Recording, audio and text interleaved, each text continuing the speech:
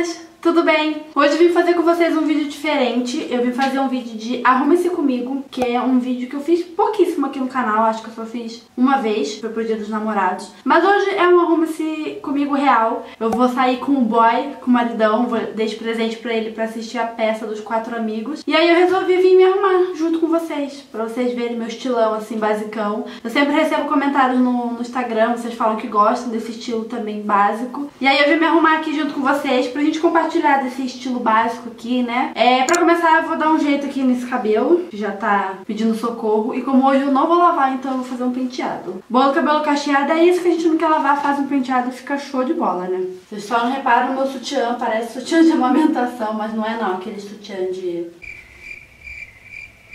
De renda, de renda pra colocar por baixo de outra roupa. Eu vou usar pra fazer esse penteado essa gelatina. Essa gelatina não, é uma geleia, na verdade. É uma geleia da 3CM. E eu tô testando ela porque eu quero trazer uma resenha dela aqui pra vocês. Já adianto que eu fiquei meio surpreendida. Mas eu gosto dela também pra fazer penteado. Eu vou separar aqui a parte da frente.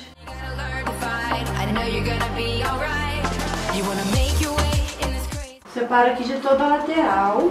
Só de um lado só que eu vou separar. Vou dar uma molhada aqui que eu vou prender bem aqui pra cima, então dá uma olhada pra deixar o cabelo mais maleável, né, pra prender. Mas eu gosto de pegar a gelatina e também misturar ela com um pouquinho de água. Então eu molho a mão só pra ela ficar mais, sei lá, mais molinha. De um jeito que fique mais fácil pra aplicar aqui no cabelo.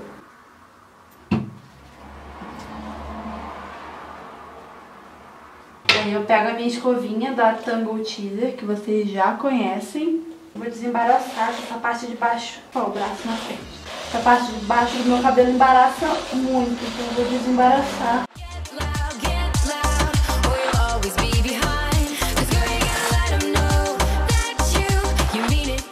Pra garantir, eu venho com a minha escovinha velha de guerra. Velha mesmo, gente.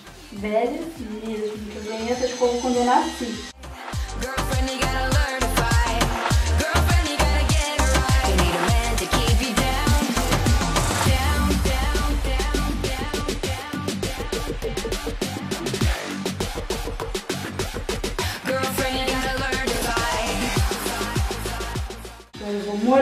Aqui e vou pentear essa parte todinha.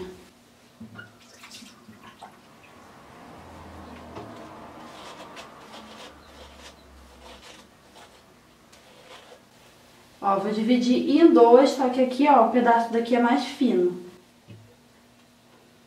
Passar a gelatina bem na raizinha aqui, ó, pra deixar o cabelo bem alinhadinho. Tá? E vou fazer um enroladinho aqui nessa parte.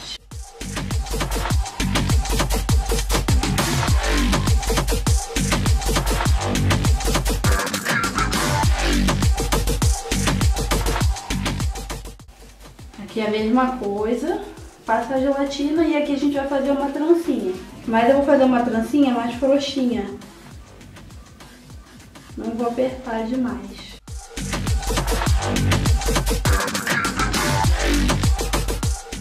E vou prender ela aqui, ó, em cima do enroladinho.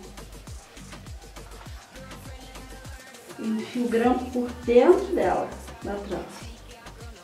Só uso aqui minha escovinha só pra dar um acabamento nos, nos baby hair da vida.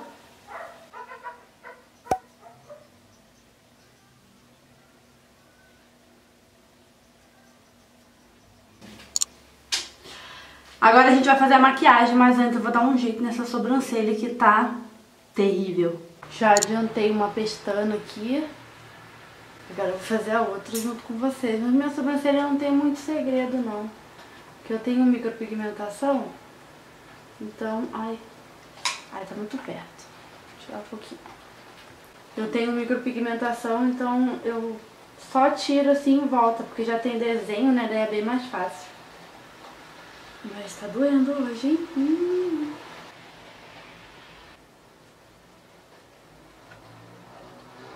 Mudei a posição que eu acho que a iluminação ficou melhor. Mas pronto, agora sim é uma sobrancelha decente. Gente, tô achando estranho que eu tô com a pele tão ressecada.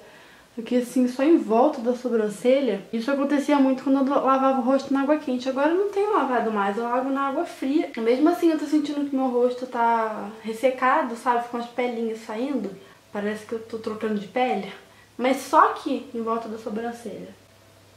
Estranho? Acho que preciso procurar um dermatologista. Bom, vou limpar minha pele aqui. Vou hidratar e passar o primer pra preparar minha pele pra receber a maquiagem. Tô usando a água micelar da Ruby Rose. Mesmo lavando o rosto no banheiro, olha só. Lavando no banho, né, com sabonete. E mesmo assim sai sujeira. Por isso que é muito importante limpar a pele com produtos que façam uma limpeza mais profunda na hora da maquiagem. Agora vem com a água. Vou tirar o excesso desse produto que contém sabão e pode atrapalhar na durabilidade da maquiagem.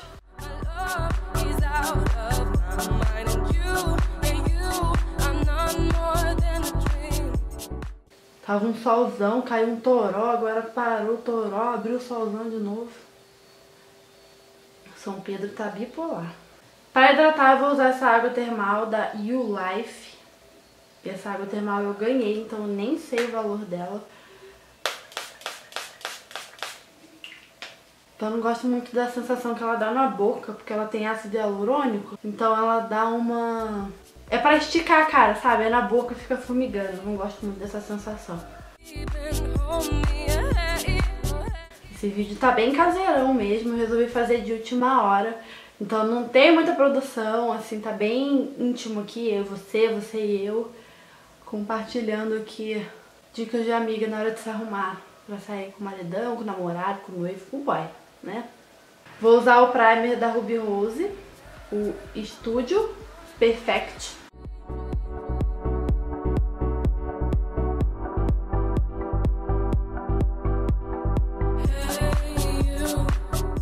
Vou usar a base da Mary Kay, a Bege 5 da Mary Kay. E ela tá acabando.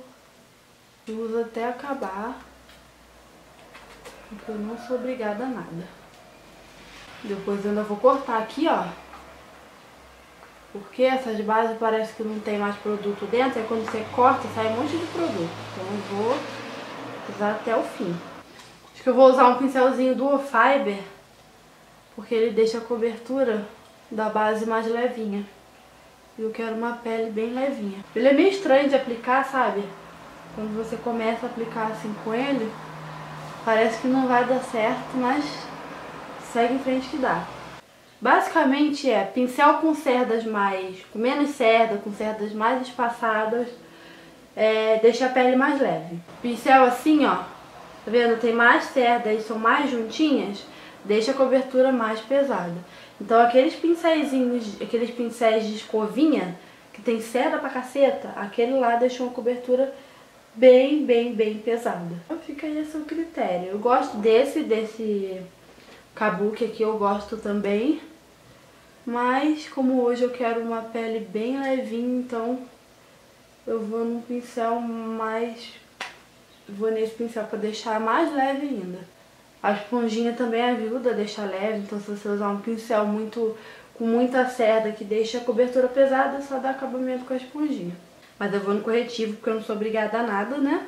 Então eu vou usar esse corretivo aqui da paletinha da Ruby Rose com esse pincelzinho cônico próprio para aplicar corretivo.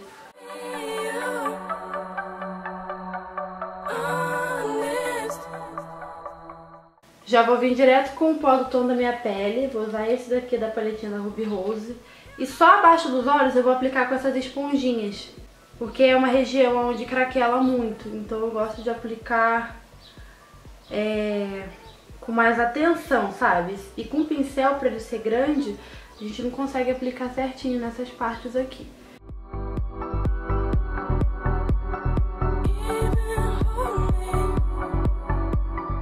Agora sim, eu venho com um pincel de pó e aplico em todo o meu rosto.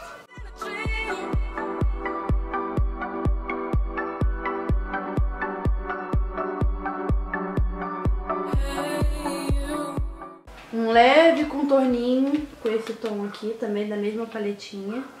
Bem pouquinho mesmo, só pra não deixar esse rosto chapado, né, que fica por causa da base.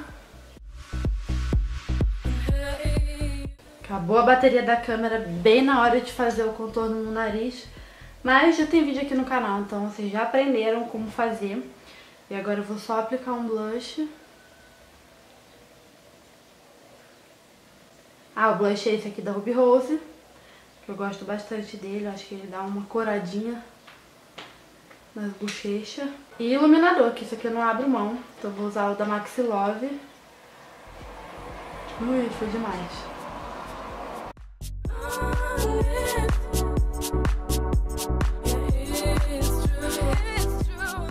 Vou corrigir minha sobrancelha. Eu uso essa paletinha da Mega Nude.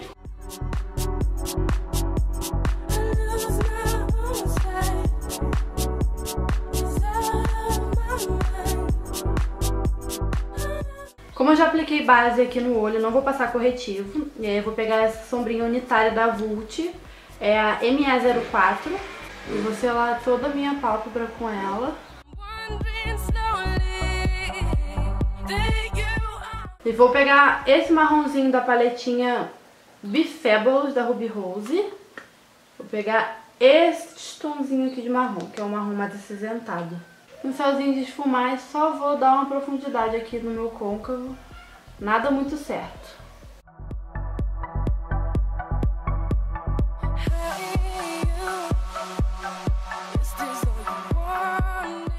O dedo mesmo, vou só iluminar aqui o cantinho com essa sombrinha dourada, da mesma paletinha da Ruby Rose.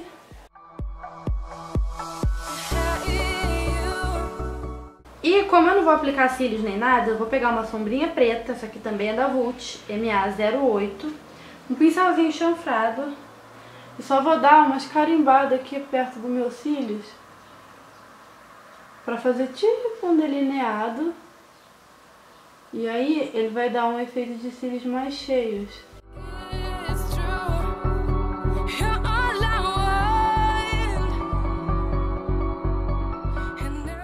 Mas eu também não quero que fique muito preto, sabe? Então eu vou pegar o mesmo marrom que eu esfumei o côncavo e vou esfumar esse preto por cima dele mesmo, assim, ó.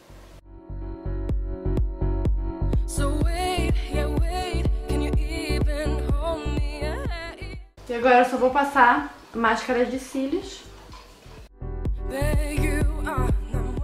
É de sempre, tá, gente? Da Revlon que eu sempre uso aqui nos vídeos.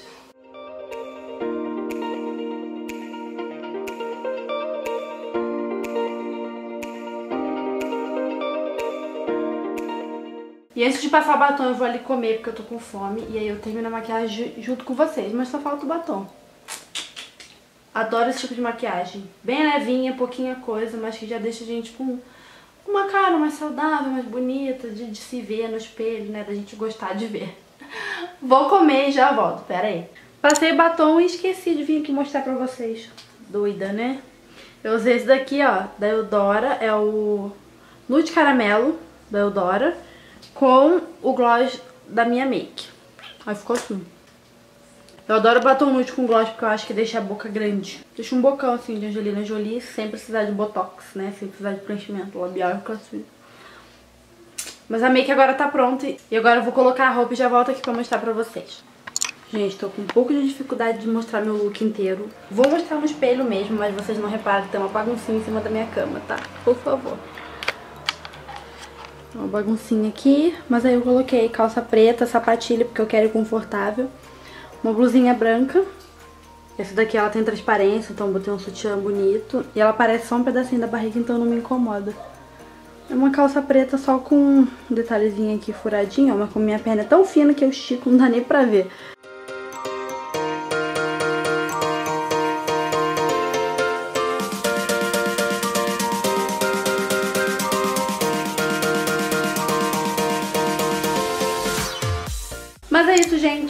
Espero que vocês tenham gostado do vídeo. Vim fazer assim de última hora, queria compartilhar com vocês esse meu look basicão. E eu acredito muito que o basicão não precisa ser somente uma calça jeans, um tênis. Você pode fazer um look basicão mais arrumadinho. E eu espero que vocês tenham gostado. Deixa aqui nos comentários seu estilo de look, se você gosta desse estilo que nem o meu também. Então é isso, um beijo, fique com Deus e até o próximo vídeo. Tchau!